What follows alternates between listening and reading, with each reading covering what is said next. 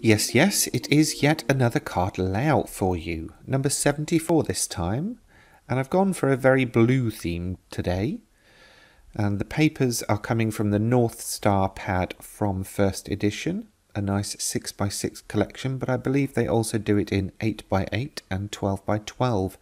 So whatever size you're working at, hopefully you should be able to find a pattern that suits. Here are some of the other bits I will be using in this particular video. And also, here is the layout, the most important bit. So I've got a couple of ink pads, some dies, uh, obviously the patterned cardstock, some coloured cardstock to match, and then a couple of stamp sets. I'm only going to use the I love you sentiment from that particular one, but then the big bear from the other one. Okay, let's get started by chopping down the papers first of all. Now this one, when I was planning it, did have various different um, embossing effects and edging effects and all sorts going on. But in the end, I kind of tried to keep it simple. The papers I'm chopping down according to the layout sizes, which, if you are just joining me, uh, are available as a free printable download from my blog. The layout also contains all of the measurements, uh, unlike the one you see me using, which is just my original draft sketch. There are also 73 other videos in this series, so please do make sure to watch those out and, of course, download the templates. Now I'm using the gridded ruler here to help me line up this first piece because that will be the crucial point for the top and bottom of the other two pieces. So it's quite important that this one goes down straight. Bookbinding glue as ever. Um, I mean 74 videos in and I've not changed that glue. It's still one of the best that I've used. Uh, it doesn't warp the papers and you need so little it goes a very long way. In fact, I really should have kept an idea of when I started using this, then I could tell you. Oh well. Trust me, goes a long way. Okay, that's the layout, so I'm just going to put that under something heavy to keep it flat while I work. And then on with the stamps. So the I love you sentiment, I'm going to stamp onto white card and then die cut. When I did my first impression, I think I put too much pressure on as the text was quite blotchy. So just flip it over and do another one. And this time, perfect. I mean, I was quick with that, but trust me, it is. Positioning the tag die on there and then just sticking it in place with a couple of bits of masking tape or low tack tape. I never know where you are in the world. Do let me know in the comments. Um, yeah, so in England we call it masking tape in other places, it's low tack tape. In uh, other regions, it's decorator's tape. I mean, there's so many words, but it's all the same thing. I'm just die cutting the bow from blue cardstock here, just getting all the pieces sorted. And then now that the text has had time to dry, I'm die cutting that as well. There you go.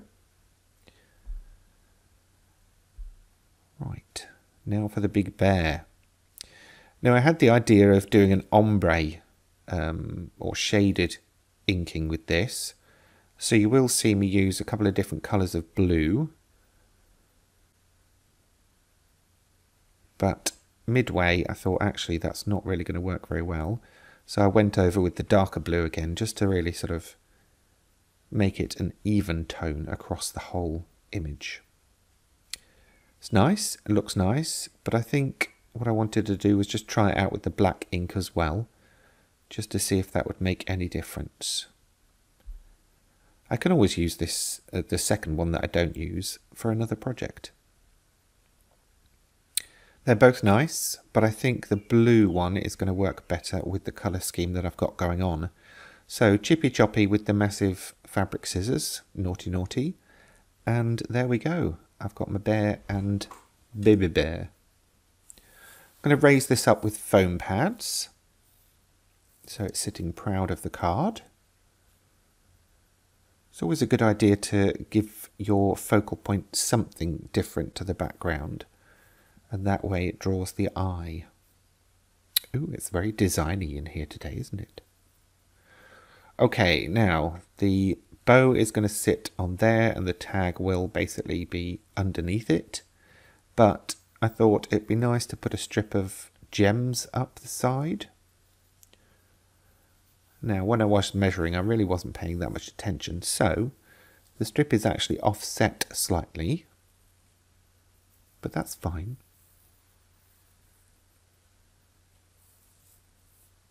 Just counting the gems there to make sure I've got enough before I start. There's nothing worse than getting to the end and thinking, oh, I'm missing one. They did ping off a bit here and there, but I think I managed to wrestle with them quite well and it's not the straightest of lines, but, you know, it's handmade. And I'm not a robot. Now, with the bow, normally I would assemble the bow before attaching it, but this time I went about it differently because I knew I wasn't going to use the central strip. So I stuck the tails down first, then shaped the, hmm, what do you call them, arms? No, not arms. That's ridiculous. Anyway, the bows of the bow. Stuck them together, as you see me doing on screen. I mean, I'm telling you this, but to be honest, you could you can see it. Um, anyway, sticking them down with a bit of that bookbinding glue again. To be honest, you could watch these with them with the sound off. Could you? You could, couldn't you? I don't know. Anyway, uh, a bit of a larger gem for the middle of that. And there we go. Bish bash bosh. Now, I was going to raise this up again. So basically the two elements that are key are raised.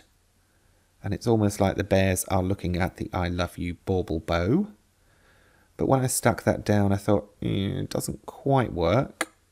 So I picked it off very carefully. And then I decided to take out a couple of those gems and believe it or not they did actually come off with their adhesive on without ripping the cardstock. So result I can reuse those in the future. And there we go. Put it down, finish it off. Job done. Thanks for watching.